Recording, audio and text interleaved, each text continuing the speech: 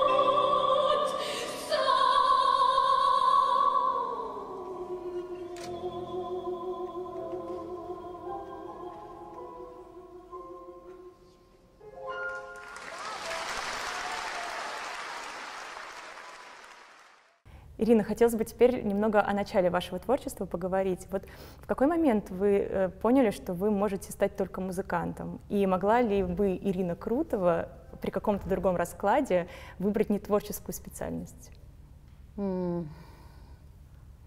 Я думаю, что это все равно было бы творчество. Не знаю, в какой э, сфере это все равно было бы связано с каким-то рождением да, каких-то моментов. А даже сейчас, э, в моменты каких-то временных э, отдохновений мне удается сделать, не знаю, украшения какие-нибудь, еще что-то. А, может быть, я была бы парикмахером, может быть, еще что-то. Но я думаю, это что-то, что такое вот создавать, создавать непременно, потому что это мне близко, это мне э, дорого очень, потому я ценю, когда другие люди делают что-либо своими руками, и я всегда очень трепетно к этому отношусь и с большим вниманием. А, а что касается того, была бы это музыка или нет, я думаю, что, наверное, у каждого из нас есть какой-то предопределенный момент, и с музыкой я шла всегда по жизни и, и всегда пела. Были какие-то, может быть, моменты, которые меня пытались отвести от этого, но моя дорога, она меня ждала, и я все равно нахожусь на своем пути, я так думаю, потому что это интересно мне, и я уверена, интересно многим. Это самое главное. А отвести от этого это какие-то другие интересы появлялись или какие-то сложности на пути, которые, когда вы думали, интересы, что... Интересы, может... либо влияние, э, опять же, э, тоже родные, они как-то влияют. И, конечно, я думаю, что редкий родитель посоветует своему ребенку уйти в артистическую среду, а, потому что, понятно, количество сложностей, с которыми он столкнется, и, конечно, мои родители не исключение, они переживали и волновались, как это все будет, э, куда это все приведет, а, и пытались мне предложить какие-то альтернативы, другие э, специальности, которые будут более спокойные, может быть. Но а прежде чем э, всерьез заняться классическим вокалом, вы же закончили дирижерское хоровое отделение, да? Да. А почему пал выбор именно на дирижерское хоровое отделение? Почему не сразу вокал? А, у меня была попытка сразу попасть э, на вокальный, но я была еще достаточно юна, и мне сказали, что вам нужно еще вырасти, и тогда, и тогда вы придете, и мы решим, что с этим делать, поэтому я не стала тратить времени и пришла в училище. Там тоже была постановка голоса, этого, в общем-то, мне на тот момент, на мой, учитывая возраст, было достаточно. А главное, что я получила очень серьезную базу в плане других э, дисциплин. И я очень рада, что мой путь сложился именно так. И вам это помогает, да, в дальнейшей безусловно, карьере? Безусловно. Поэтому мне кажется, ну как, наверное, избитая достаточно фраза, что все, что не делается, делается к лучшему, но, как ни странно, это, это так. А у вас всегда была уверенность, что вы выйдете на большую сцену? Или были какие-то моменты, когда вы сомневались, что вот, может быть, не получится, может, что-то не срастется? Или всегда была какая-то уверенность, что-то вас вело прям к успеху? Вы знаете, наверное, сказать, что уверенность это один из таких да, моментов, которые, что я уверена в том, что все получится. Я уверена в том, что я делаю. Я, э, э, я просто иду, да, иду по э, дороге, которую вижу, которую чувствую, и результат тут уже да, оценивается зрителем, оценивается моими коллегами.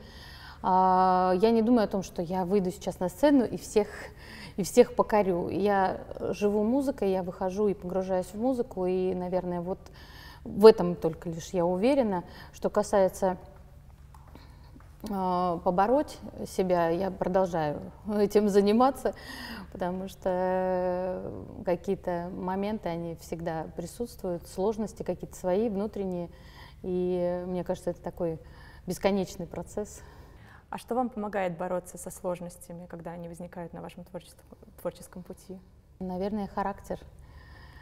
Потому что, как говорят, позади Москва, да, назад уже дороги нет, важно идти вперед, и, собственно, вот это ощущение э, движения вперед, оно, наверное, и выводит всегда из таких ситуаций, потому что, как я всегда говорю, э, и ребятам, когда на мастер-классах мы сталкиваемся, ты уже на сцене, уже, уже невозможно ничего. Пути назад нет, да?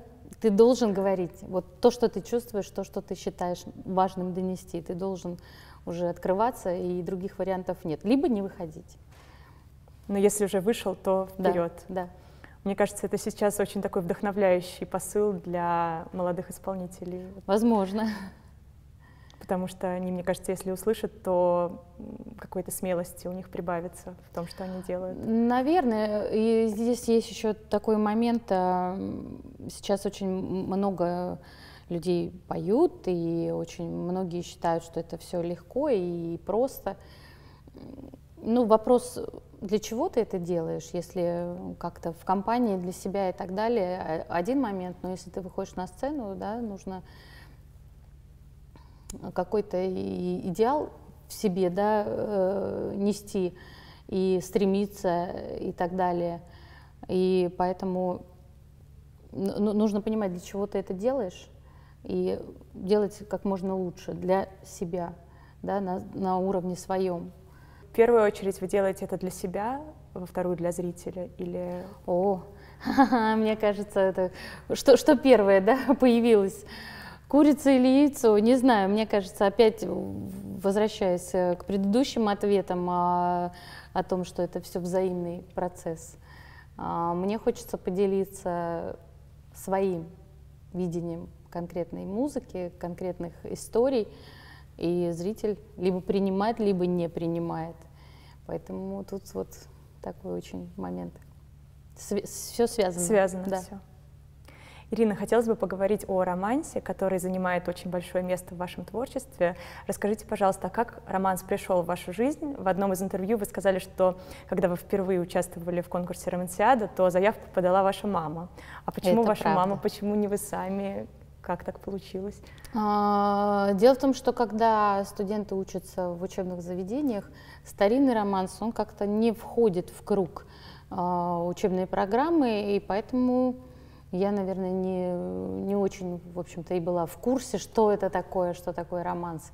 Классический, да, он входит, но, опять же, все равно уделяется этому не такое э, серьезное внимание. А уж на тот момент, когда ты только в начале пути, а, мама отправила заявку, мне позвонили, сказали, приезжайте. Я приехала и поняла, что я ничего не знаю о романсе. Вот, прошло время, я стала как-то в это погружаться, слушать, узнавать, искать э, ноты, записи. И в какой-то момент вдруг попыталась сама это, я не знаю, даже прожить, правильнее будет сказать. И все с этого момента я с романсом, он со мной. То есть это произошло уже после того, как вы поучаствовали первый раз, да, да в романсиаде? Да не, не будучи, по вашему мнению, готовой? Ну, это было так, я действительно была не готова. Потому что романс это какой-то отдельный мир и интересный, увлекательный. Но опять же, э, таким миром может стать любой жанр, потому что если уж за что-то браться, то нужно погружаться в это целиком и, и пробовать, пробовать, пробовать и не бояться ошибаться. Потому что если ты не ошибаешься, как правило, не ошибаешься, значит ничего не делаешь. А вот когда вы второй раз уже участвовали в романсиаде, вы были, получается, готовы полностью, да? И Ох, чем, полностью. Чем, по вашим ощущениям, отличался ваш второй выход на сцену в романсиаде от первого? Ну, тем, что я уже попыталась соприкоснуться с романсом, потому что то, что было до того, это было, ну, так, я, я постояла рядом, скажем так. А уже участие мое повторное, оно было с большим пониманием, с большим вниманием к жанру. А, ну и, соответственно, результат был другим. И одним из произведений, которое вы пели, был знаменитый «Шелковый шнурок». Да, да. А... знаменитый он, наверное, стал сейчас. А почему именно э, этот романс? Почему пал выбор на этот романс? Вы Потому знаете, что он ведь не настолько очевидно. необычный, и история настолько не, не то чтобы не банальная, а трагическая, Да. совершенно трагическая история. И, наверное, вот этот страх от этой истории как-то, не знаю, здесь все вместе смешалось, и, опять же, попытки прикоснуться, да, к этому жанру. И э, вот эта интересная какая-то совершенно новая для меня история. И я все-таки рискнула, потому что у меня было несколько романсов э, приготовлено, и буквально перед сценой меня спросили, ну так что, шелковый шнурок или вот там еще, я сказала шелковый шнурок. И, наверное, он как-то решил, да, повернул. Да, и отдельной ответственностью же было то, что в жюри сидела Алла Николаевна Баянова, Да. и Да. ей понравилось, да, ваше исполнение? Она его пела сама, Да. и его пели, в общем-то, не так часто. А, Она была удивлена, я так думаю, потому что она буквально подпрыгнула в кресле, услышав его, потому что я думаю, что это не совсем конкурсный э, романс, в принципе, достаточно сложный. А, Но, тем не менее, спустя время его стали часто э, исполнять, и он, в общем, обрел какую-то даже, даже популярность, можно сказать. И есть города, куда я приезжаю, и из зала кричат «шелковый шнурок», независимо от программы, которую мы привезли, и песен. А, то есть в отдельных городах, да? Да, да, вот он настолько западает в душу, что вот его просят. Но он не может не запасть в душу, мне кажется. Наверное, да, я говорю, настолько не, да, неожиданная история, что, конечно, он запоминается. А есть города, где именно он а, является таким да, моментом переломным, когда вдруг а, тебя понимают, принимают и открывают, э, потому что была программа, и зрители принимали, но я чувствовала, что нет еще э, среди тех исполненных произведений, которые были, не было ключа к ним. И вот когда прозвучал «Шелковый шнурок», вот он оказался тем самым ключом То к этой публике. он помог конкретно. найти контакт, да? да. Стопроцентное совпадение Да, произошло. Поэтому бывает по-разному, и он действительно запоминается. Mais des mots.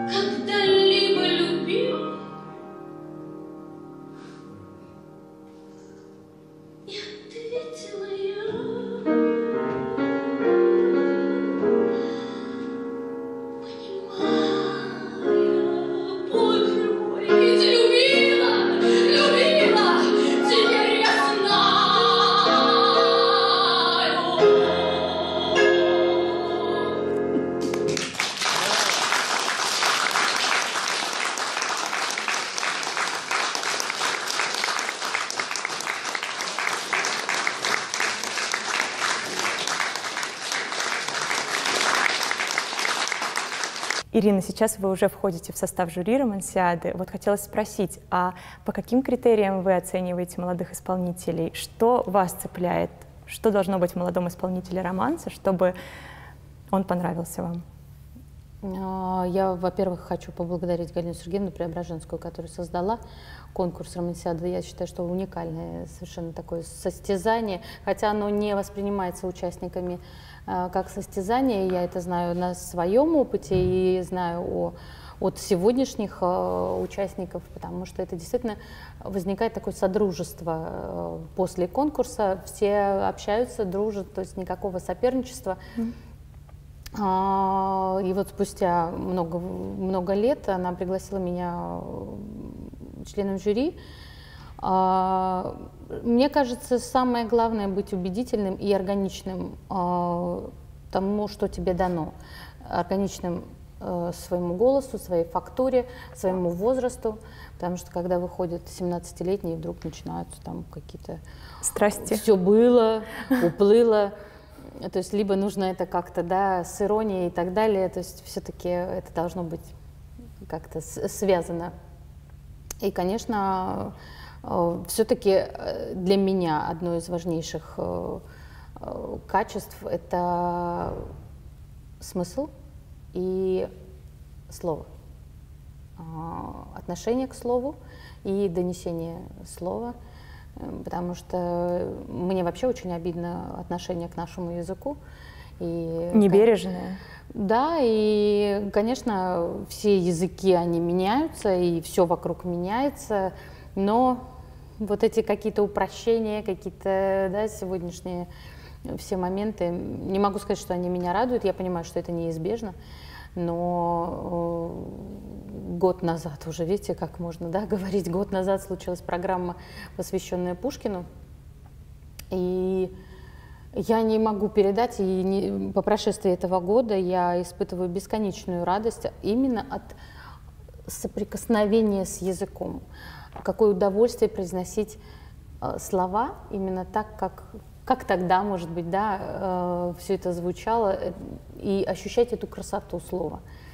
И мне очень жаль, что сегодняшняя молодежь часто лишена этого. И я думаю, что э, однажды любой человек, молодой, не молодой, соприкоснувшись с этим, ему хочется снова и снова это испытать, потому что это действительно удовольствие истинное. Действительно, и романс просто призван сохранять красоту языка. Да, да. Это одна из его целей, каких-то Ми- миссий, миссии, да, миссий да, да, даже. да. Поэтому хочется верить, что будут все-таки люди жаждущие э, слышать свой родной язык и э, помимо всех этих неизбежных э, упрощений, которые возникают в жизни, мы все, в общем-то, этому подвержены, и нет смысла скрывать и говорить, да, что нет-нет-нет, я не, не говорю таким образом, но в жизни действительно мы проще разговариваем, не так, как когда-то, а, но если это можно сохранить хотя бы в романсе, Да. хотя бы в музыке, то мне кажется, это важно сохранить. Не так, не так много источников осталось, откуда мы можем Да, почерпнуть этот язык. литература, да, музыка, Музыка, романс. романс. Да. Да. А, в одном из интервью вы назвали романс мини-спектаклем души. Вот напрашивается вопрос, а насколько вам изначально было сложно разыгрывать этот мини-спектакль души? Или, может быть, не разыгрывать это плохое слово, а жить этой музыкой? Сразу ли получилось э, раскрыться в этой музыке? Или это тренировкой достигается, какой-то работой? Или это больше от природы? Умение выражать Я, я думаю, что здесь все, чувства. все вместе. И обязательно природные, да, конечно, моменты очень важны. Природное прочувствование, что ли, да, музыки, умение а, прожить. Ам, и к тому же романс, мне кажется, очень располагает тому, чтобы открываться самому. И через это открывать зрителя. Да? Не, не все ведь истории, которые звучат в романсе, мы проживаем в жизни. Но, тем не менее, он открывает как будто нам какие-то другие двери, и ты можешь себя представить да, где-то в каких-то других пространствах, скажем, других ситуациях. А когда вы работаете над романсом, вы больше все-таки исходите от себя или какой-то образ, он откуда-то ищется со стороны чаще? Вы знаете, всегда по-разному, и это какой-то такой очень момент. Э, Здесь все, все вместе, одно в другое пе- перетекает. А, Очень часто поддаешься просто музыке, и она, тебя, она тебе дает очень много красок. А, Иногда, да, можно включить актерские какие-то моменты.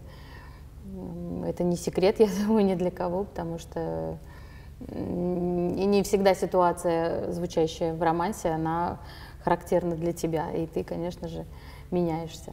Но тут важен, наверное, как раз вот заданный момент, насколько ты многогранен э, внутренне. Ирина, большое место в вашем творчестве занимают э, военные песни. Хотелось бы спросить о балладе о матери, которую вы исполняете. Насколько тяжело вживаться в такой драматический образ и насколько тяжело потом восстанавливаться после исполнения подобного репертуара? Потому что вот у меня, как у зрителя, ощущение, что у меня вынули душу, когда я слушаю это произведение, а что испытывает исполнитель, когда стоит на сцене, мне даже сложно представить. Фух, насколько тяжело. Тяжело и то, и другое. Вернее, наверное, жить этой песне тяжелее, чем потом восстановиться, потому что вдохновение и э, черпаешь из всего, из любой красоты, из любого какого-то красивого момента, который ты замечаешь, красиво падает тень вдруг от цвета, от цветка, и этот момент тебя как-то тоже наполняет. А вживаться, надо сказать, что когда впервые я пела эту песню, вот это был тяжелый момент, потому что когда я прожила всю, всю эту историю, ну, было ощущение, что сейчас меня, наверное, вот увезут на скорой помощи, потому что отнимались руки, и было совершенно не- невыносимо, именно даже на физическом уровне, потому что это такой стресс, стресс э, серьезный. Но со временем как-то, наверное, хочешь, не хочешь. э, Я, я считаю, что это такие эмоции, они тяжелые, они очень сложные и для восприятия тоже, но они необходимы, потому что если мы об этом забудем, и если нас не будет хотя бы музыка так потрясать, а, мы, мы просто как-то станем совсем другими, мы перестанем чувствовать, потому что вот такие совершенно эмоции, которые тебя выбивают совершенно из колеи, они, наверное, тоже необходимы, чтобы не забыть, что мы умеем чувствовать, и, и, и что-то должно нас до такой степени волновать, потому что сейчас настолько как-то нас... Это, это Всё меня не- не касается, это меня тоже не касается, это все не, не так важно, это все, ну, вот как-то все так в стороне. А, а уж касаемо этой темы, а, мне кажется, нужно постоянно об этом говорить, и мы, в общем-то, безотносительно э, дат, э, май, не май и так далее, мы стараемся так или иначе включать э, подобные произведения в программу. Ну вот сейчас прививка очень популярное слово. Это вот своеобразная прививка, чтобы От не- равнодушия? от равнодушия для напоминания о том, что было, чтобы мы знали, что испытали наши предки, э, хотя мы можем только лишь предположить, потому что мы уже живем в другое время, но даже мысли об этом, я, я до, до сих пор, несмотря на количество фильмов, э, записей и так далее, увиденных, просмотренных, каждый раз соприкасаюсь с этой темой, меня это потрясает до такой степени, что это, это не передать словами. Это, конечно, это какая-то внутренняя работа, и опять же она необходима и артисту, и зрителю.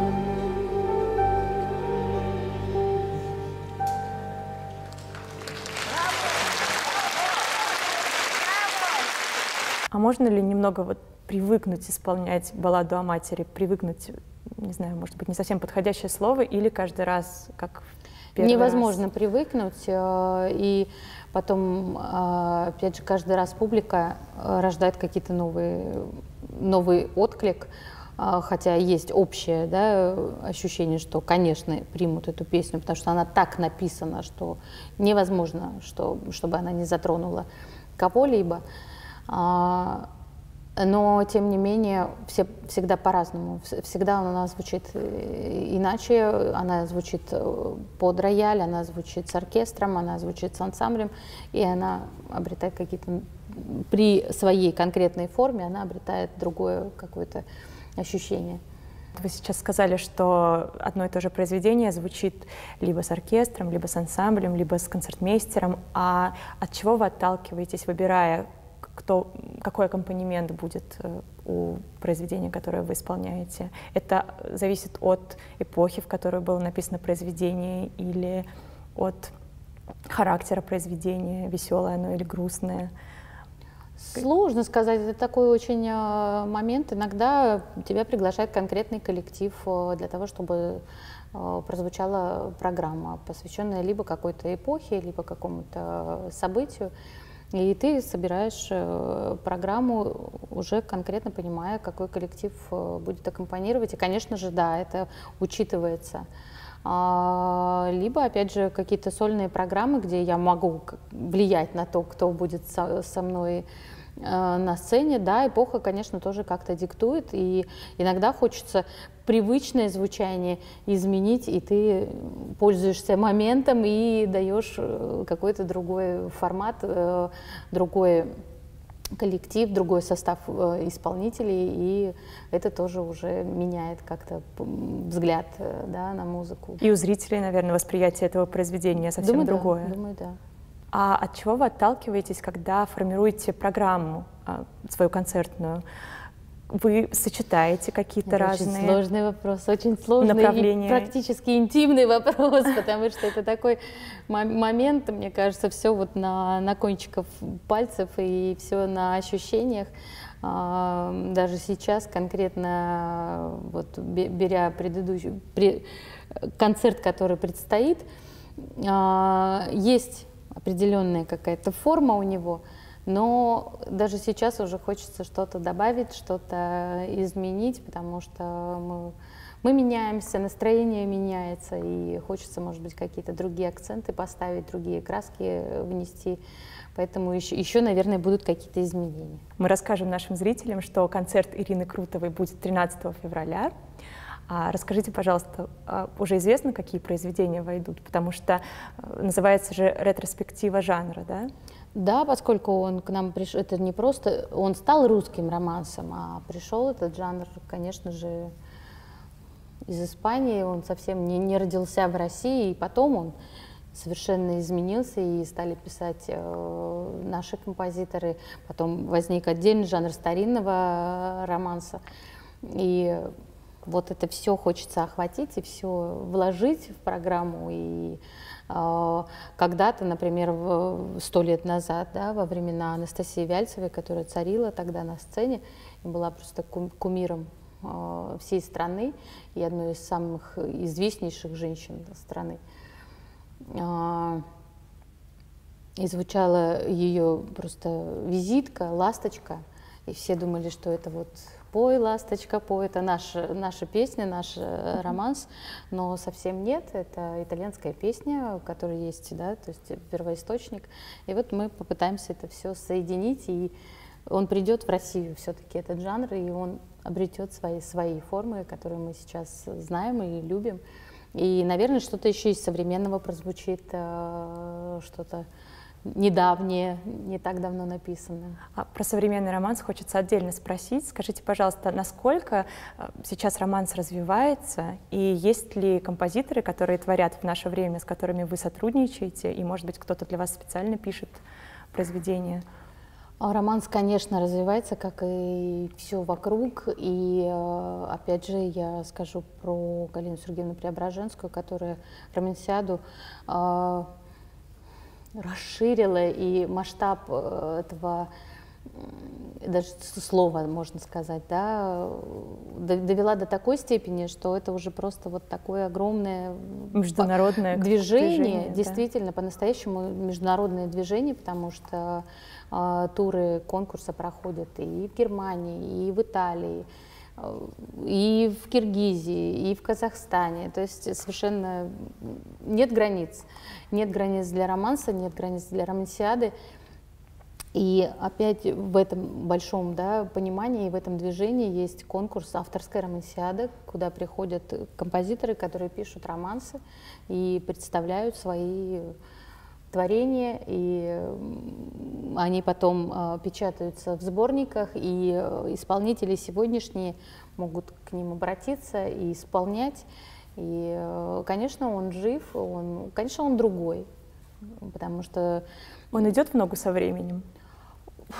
Сложно сказать, что значит в ногу со временем. А может быть, он и не должен идти в ногу со временем. Может да, хороший быть, вопрос. Роман, может наверное... быть, он должен оставаться вот, э, имея свое совершенное лицо и не не угождать сегодняшнему времени. Опять же, я коснусь языка, потому что сегодня другой язык. И это накладывает отпечаток и на музыку, и она получается какой-то другой. Может быть, пусть он будет такой возвышенный и как бы далекий, но при этом простой и, любимый. То есть романс развивается, но не угождает тенденциям? По-разному. Я думаю, что по-разному. Ведь здесь зависит от э, автора, что он хочет. Если он хочет идти в ногу со временем, он, наверное, будет идти в ногу со временем. Опять же, в его понимании, да, что, что это такое. Поэтому э, тем и прекрасен романс, что каждый может в нем найти какие-то свои важные моменты и, и краски, и ими апеллировать, находясь на сцене, и рисовать картины. Кто на что способен, у кого какой художественный вкус, скажем так.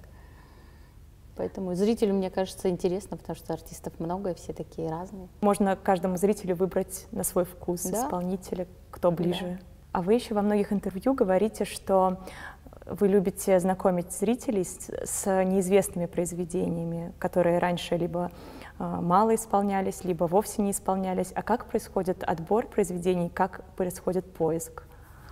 А это отдельная тема, потому что э, количество прослушанного материала, количество просмотренных нот, э, количество стихов и так далее, оно столь велико, и мне интересен сам вот этот процесс, и вдруг какое-то произведение, не обязательно оно там какое-то масштабное, опять же, известное, оно вдруг откликается во мне, и я в нем вижу какой-то свет, который да, меня привлекает, и я выношу это на сцену, и потом, спустя время, когда люди ждут именно это произведение, это, конечно, отдельная радость, такая моя личная.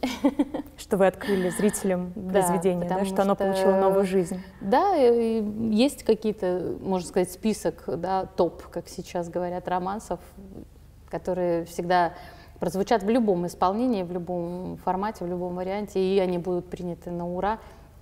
И это тоже прекрасно, это тоже определенный такой формат, скажем, да, звучание.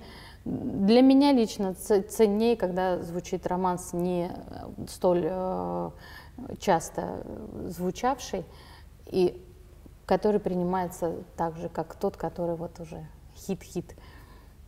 Поэтому это такой исполнительский момент и отдельная исполнительская радость.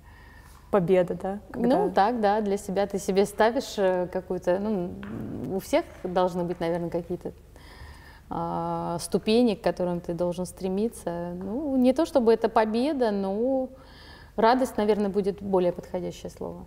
Хотелось бы поговорить о ваших зрителях. Какой он, зритель, который приходит на ваши концерты? Хороший и родной. А, мне кажется, зритель а, такой очень а, ясное отражение артиста всегда. И очень, очень многое можно сказать об артисте, глядя на его зрителей.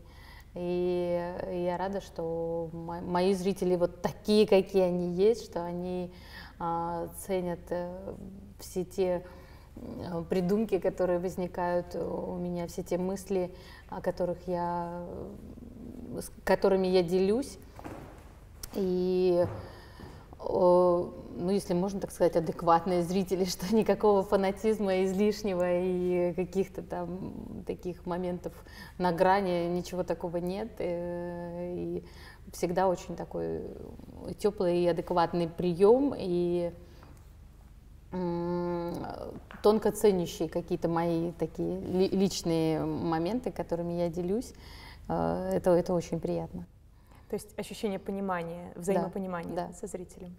А есть ли молодые зрители? Да, да, это отдельная радость. И вот вы говорили, победа, вот здесь, наверное, это можно употребить, потому что, конечно, принято считать, что романсовая публика — это, как правило, публика зрелая, Зрелая. либо все говорят, ну, бабушки все наши.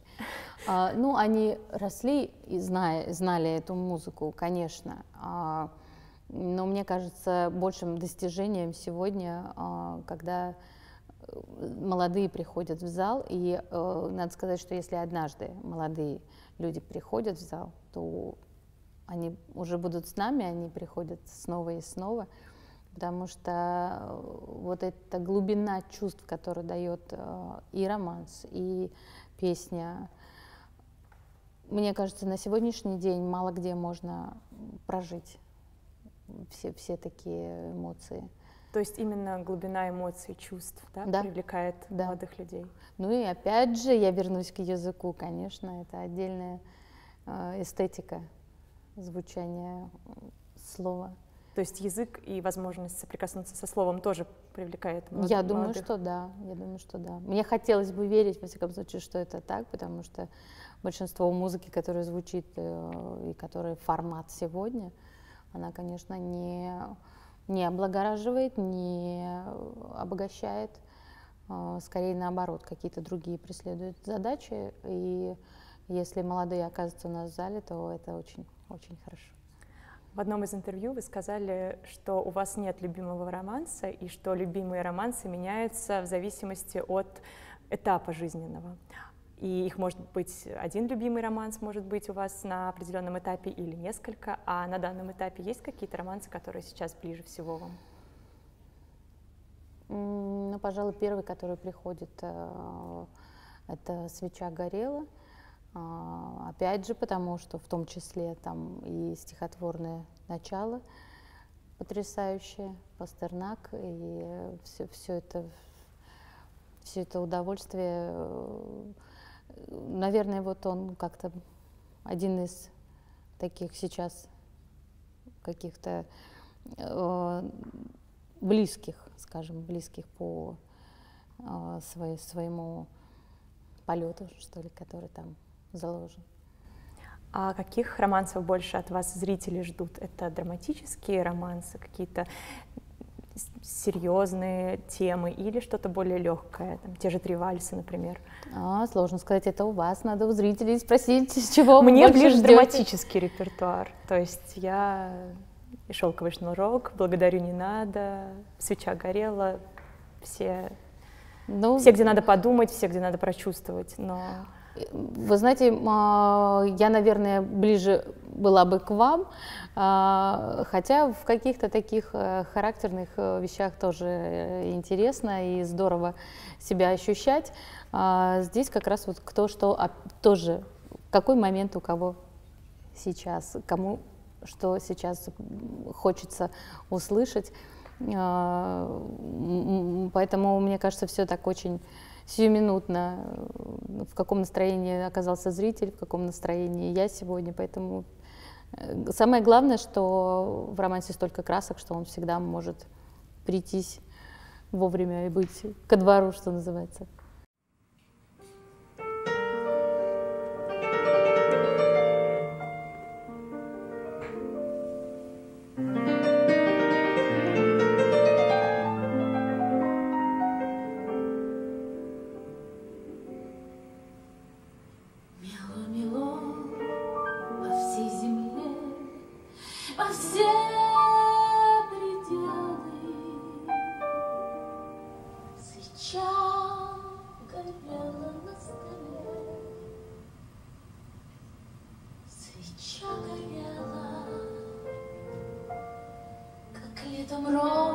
Мышкара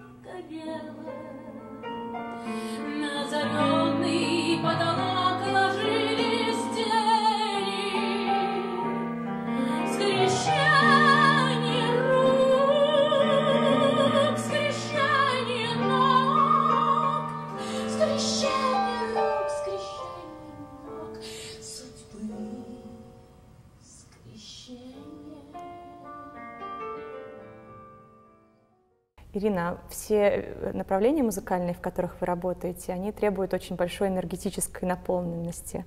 А как вам удается все время настолько наполненный подходить к каждому концерту? Как удается?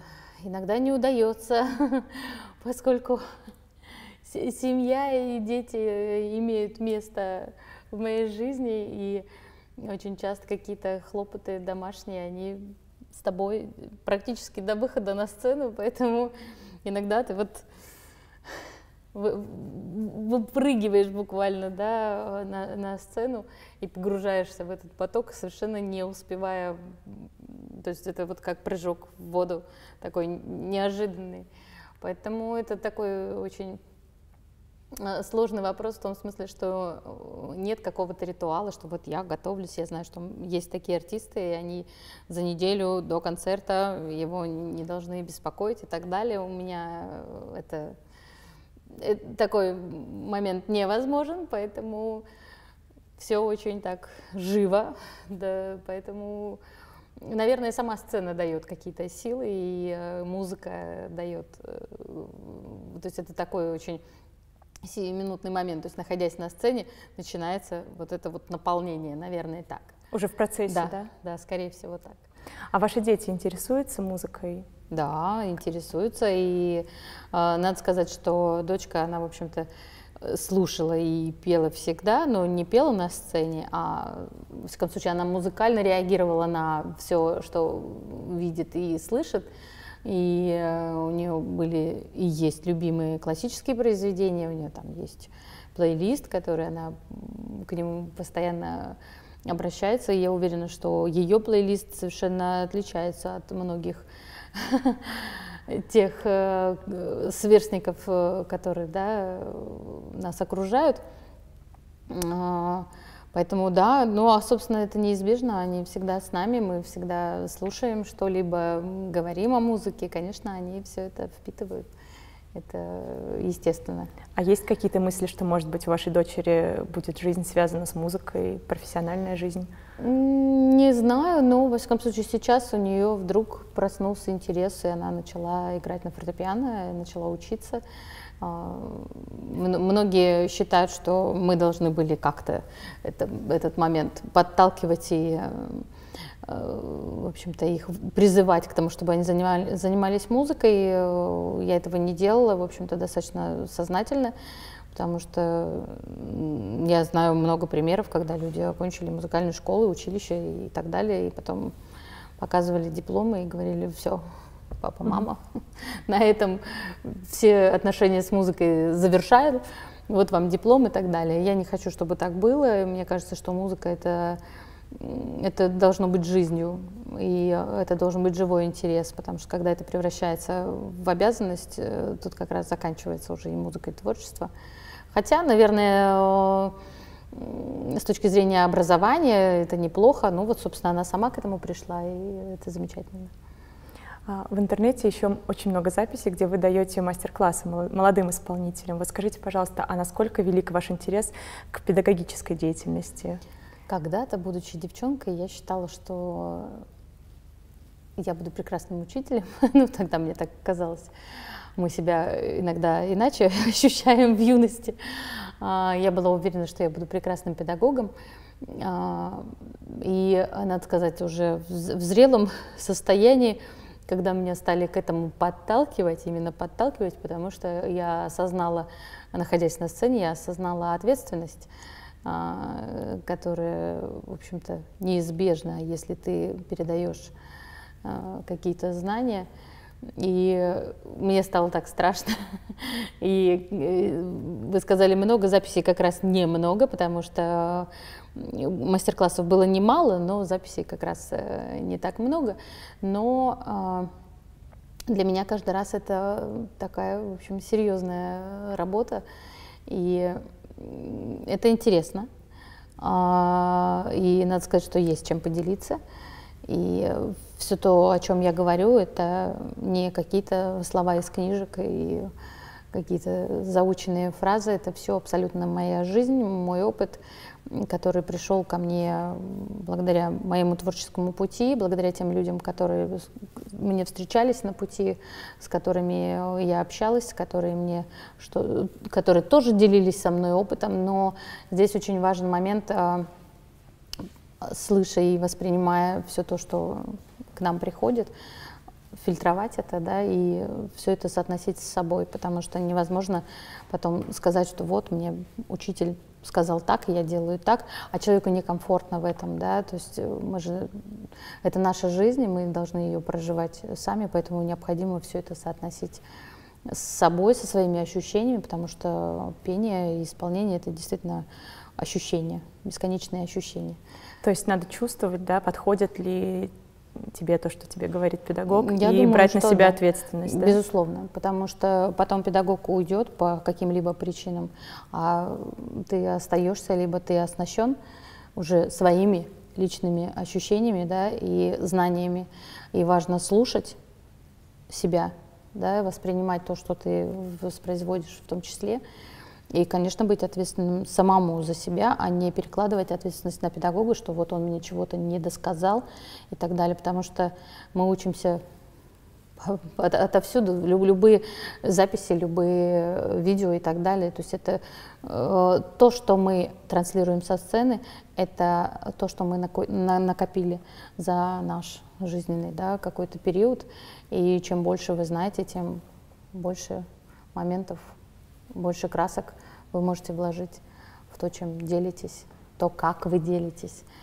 Поэтому это такой очень серьезный момент, мне кажется, преподавания и э, Но безусловно вы для себя интересно. Не, вы для себя не исключаете возможности? Не исключаю.